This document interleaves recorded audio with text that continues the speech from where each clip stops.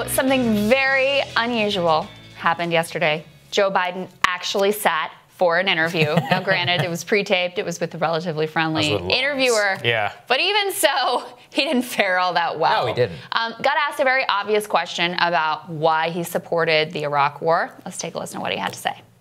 Look, the reason I voted the way I did was to try to prevent a war from happening because, remember, the threat was to go to war.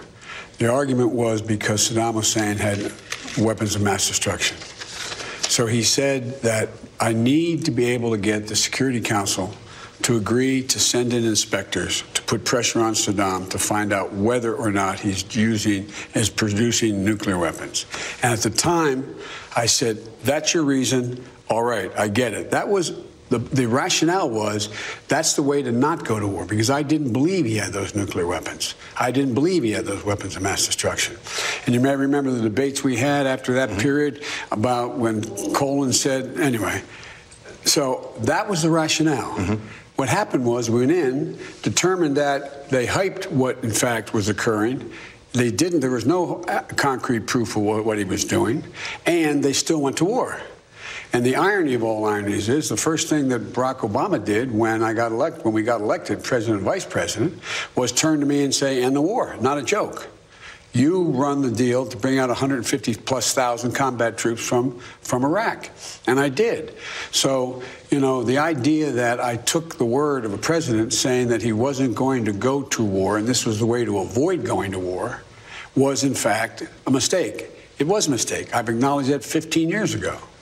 But the idea that Bernie Sanders' judgment on foreign policy is superior to mine, uh, I find uh, I'm anxious to debate him on that question.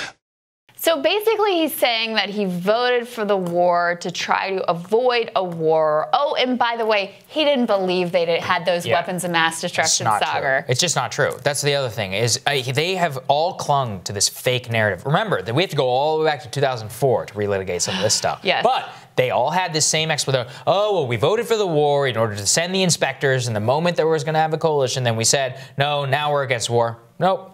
Completely false. 2003, September 2003, uh, even more afterwards, the invasion. We have clips. I've played it here on the show of Biden actively supporting the invasion of Iraq, the decapitation of Saddam Hussein. He didn't really turn against the war publicly until 2004. Right. And especially in, in, in terms of a wholesale way against the U.S. troops in Iraq till 2005. Right. Let's just be honest about that. He's like, oh, oh, I didn't trust, I mistook and misbelieved President Bush, all that completely false. He believed that there were WMD. He said, let's send in the inspectors. That he has claimed that his only vote was for the inspectors. But even after that point, parroted all of the we don't want the smoking gun to be the mushroom cloud. And now thousands of Americans are dead, and so are at least hundreds of thousands of Iraqis. That's right. Long after that vote, long after the Iraq War started, he still supported it. He taught, he bought all the WMD talk. There's no evidence that he ever was like, "Oh, that this was not true. It was a lie," et cetera, until we all saw that it was a lie and untrue. And remember, always important to remember, as bad as Hillary Clinton's vote was on this, Joe Biden was in a much more senior position. He was the head of the Senate Foreign Relations Committee. He was the one who was in charge of holding these hearings in the March and the lead up to war. So he was the one who was putting witnesses on who were basically beating the drums and led us to that place. The fact that he backed it was incredibly significant and vital even for the Bush administration to be able to make the case mm-hmm. and ultimately get us into that war.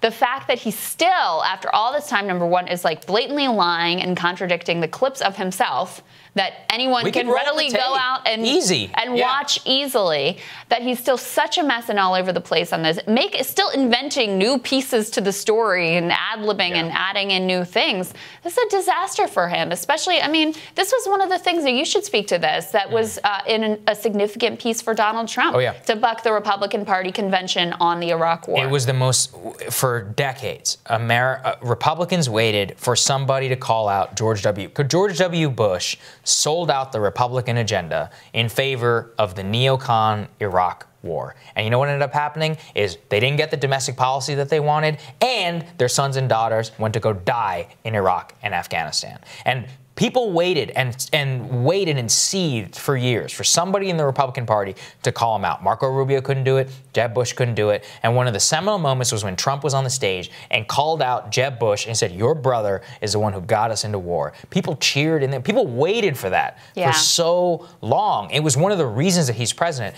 Zaid Jilani is actually, whenever I think he was over at The Intercept, he did an analysis, or he wrote about a paper that showed which that people, even working class areas, which disproportionately had more military deaths from Iraq and Afghanistan, voted more for Trump over Hillary, keeping all other things equal. Yeah. So e- all places with higher casualties, Yeah. keeping all things, unemployment, economic conditions equal, military casualties disproportionately affected how people voted for Trump. Because think about it, it's in your neighborhood. Your, I mean, you and I know people who were killed or maimed in the Iraq War, in the Afghan War, and that sticks with you for the rest of your life. That's absolutely Yeah. the case. And look, we're starting to get a look at what a Biden administration would look like, what the foreign policy would look like. Mm-hmm.